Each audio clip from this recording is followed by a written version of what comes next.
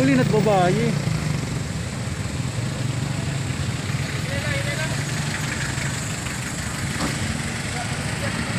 kalapdes pa dito